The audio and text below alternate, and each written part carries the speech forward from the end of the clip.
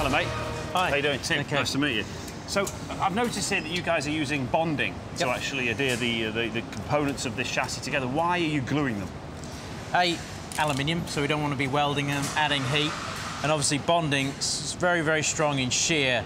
And obviously you can see the rivets here, structural rivets, so they, Yep. they stop for the peel as well. So when you're talking about shear, so it'd be like having two things stuck together. That's shear, isn't That's it? That's shear, yeah. Yeah, okay. And, then, peeling is like that. Trying to pull something off your bedroom wall, something like that. You Okay. know, that's when you're, Right. you're peeling things. So looking at this here, so this the, these are strong in this particular direction or Yes. that direction as, as in terms of shear.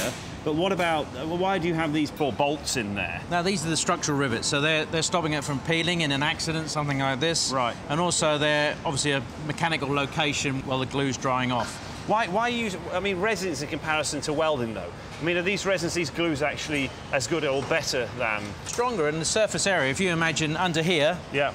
You've got nearly a 50 millimeter strip by 100 millimeters long, that Yeah. whole surface area, and we control these gaps. You can see with the ridges, so we allow a nice smooth. Hang on, what, what are you talking about ridges? What are these ridges? So these will actually allow the a certain amount of glue, so that if this was perfectly flat, you may not get enough glue in certain locations or adhesive.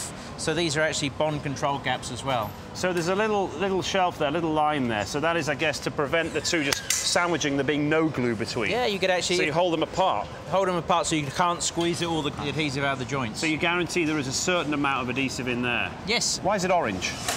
A, it's the type of adhesive we're using, but also it's visually, you can see it. So you can actually see physically that there's been glue in all of those So places. that's why you go orange. So you Yeah. go orange so you can go, right, that's got enough resin glue, that's got enough glue, that's got enough glue, what have you. Yeah, and if you didn't see the orange here, you'd know that potentially there wasn't enough glue in that joint.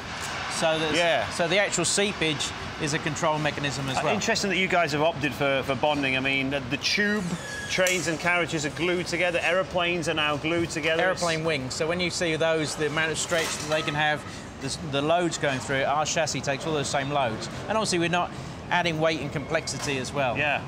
And it's a lot easier to do. You don't need to employ qualified, complicated TIG welders. Exactly, and you know the components. that- You know our chassis are really technical, but you can see they're actually the same chassis. It's symmetrical down the centre. Right. So this is a right or a left-hand drive chassis at this Okay, point. so at this, at this stage, it's not being decided. Not decided. I'm finding it hard computing that this is a glue because I've been brought up in a world that welds, and now we're using resins and glues to adhere. But I mean, as you say, and everybody's saying, like the tube are using it, aeroplane wings are bonded on. It's stronger than welding, isn't it? It's stronger, it's more consistent, and we're not putting the temperatures in.